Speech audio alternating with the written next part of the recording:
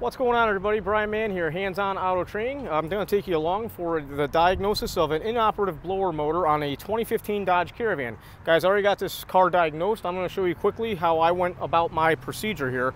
Two things before we get started, everybody. If you're not capable, if you don't have a good understanding of basic electricity and uh, safety precautions and understanding how to use a fuse circuit, do not watch the rest of this video. I'm not responsible for you guys messing something up. Be careful out there. Make sure you know what you're doing.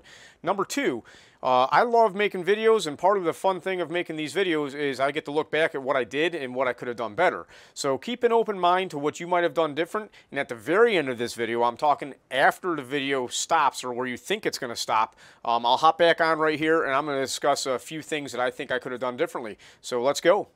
So uh, first off, if you're ever working on anything, always take a look at all the trouble codes.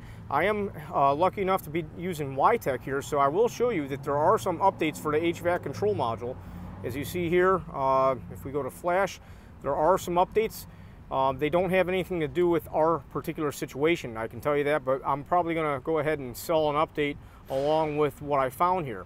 That being said, let's go ahead and take a look at the codes we have. We click on all DTCs, you can see that we do have a, a few things going on uh, that are all stored. All these codes are stored, nothing's pending, so I'm not too concerned with that.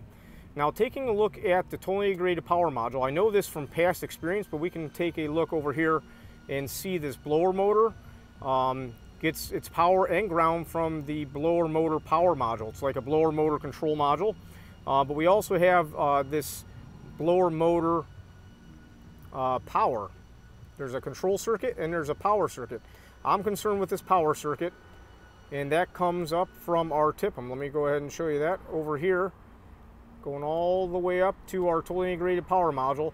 This comes directly from our, our TIPM. Um, so using a scan tool, we can go ahead and make sure that this uh, TIPM um, is commanding this. So we're gonna go back into our, where to go here, my WiTech.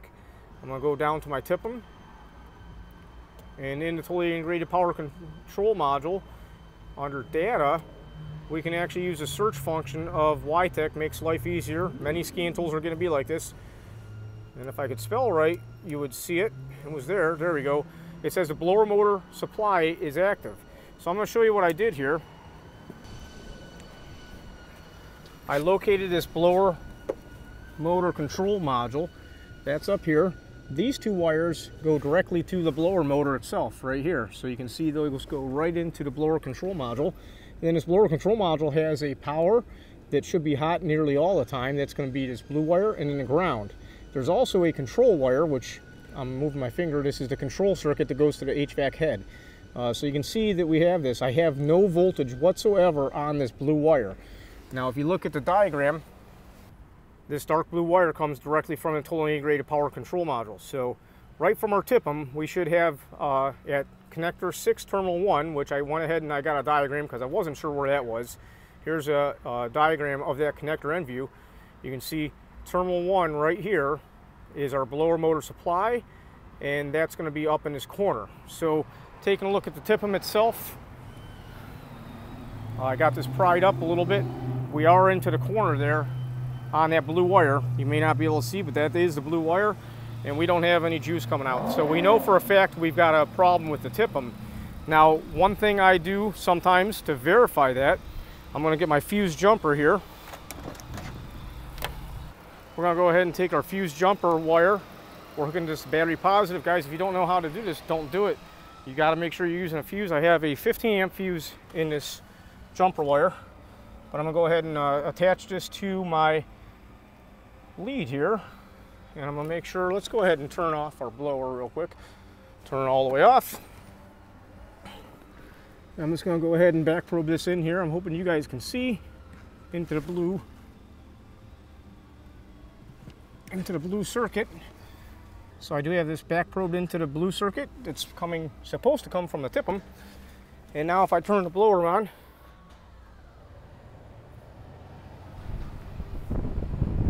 we do have uh, blower motor activation. So we definitely have ourselves a bad TIPM here.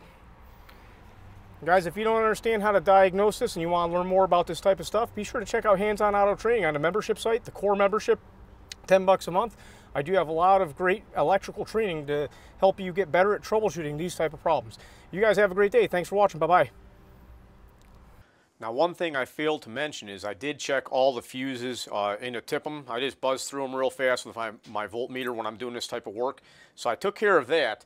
But what I want to show you here is my thought process on what I could have done better or to verify there was no other issues. And, you know, like I said, playing Monday quarterback is always fun. I like learning how I could do better. And, you know, maybe I'll get it next time. So uh, this is ALLDATA here. We've got ourselves uh, uh ALLDATA. This is the color uh, diagram in ALLDATA.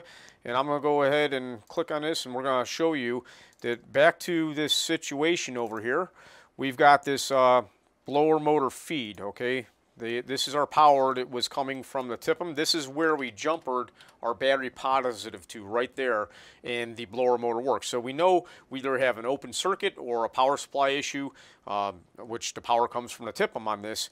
Now there is a connector uh, that could be corroded or something like that. We don't know. And the reason uh, I wasn't worried about that is because going back to the blower motor control connector, uh, connector 6, uh, terminal number 1, we didn't have any voltage right here. Uh, being that we don't have any voltage output with that command in the TIPM on, uh, we know there's something wrong with the TIPM. Now, I don't know, could there be a, uh, another issue, uh, open circuit or something like that going on? Well, here's what I think. If I would have jumpered my fuse battery positive to right here, if I went from battery positive, oop, we didn't want that. If I jumper from some battery positive that's hot all the time, you know, the battery positive, right to uh, this uh, terminal where I was back probed, we would have verified the integrity of this entire circuit. Uh, that would have probably been the better uh, route to do it. I don't know why I didn't. Now, I'm pretty confident we don't have a short to ground or anything in this circuit because I did jumper uh, battery positive here with the fuse lead and it did not blow. So if my uh, fuse jumper lead would have blown or if I touched it and uh, we got a giant spark or something, I'd be like, okay, there's something else going on. We probably got a short to ground in this circuit and that could have put the totally integrated power module into like a, uh, protective mode or shutdown mode to keep it safe but I would think that the command might not be on then in the TIPM. So if something comes about this vehicle and I get called back because the TIPM doesn't take care of it, I'll let you know. But I'm pretty confident that we're on the right track here. So thanks a lot for taking the time to watch. If you guys have any questions, comments, or concerns, be sure to let me know. Um, and uh, comment in the comments. I'd love to hear what you think about this. You guys have a great day. Bye-bye.